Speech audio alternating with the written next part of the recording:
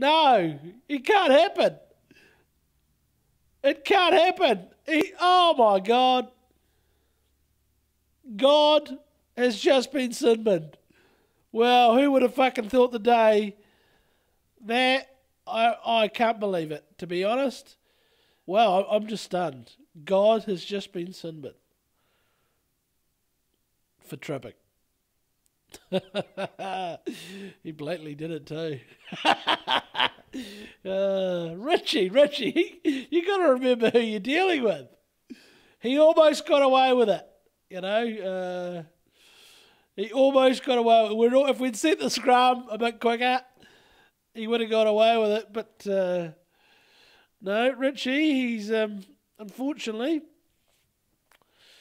he's gone into the bin, and he deserved it. Oh shit. Well, it's not every day you see God get sin.